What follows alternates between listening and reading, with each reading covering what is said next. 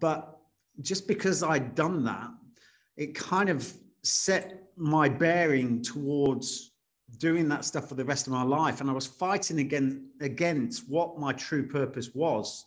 You know, I thought my true purpose had to be this external fix of going to war zones, you know, going to Iraq, going to, to wherever it was. I thought, well, that's you, that's your box. Don't step outside of it. Yeah. And I realized all the all along I was actually fighting against my true purpose. You know, you've got to sort of let go of the past and, and start to find your own direction after you after you leave uh, SF and not think that you're defined by your past experience and, and achievements.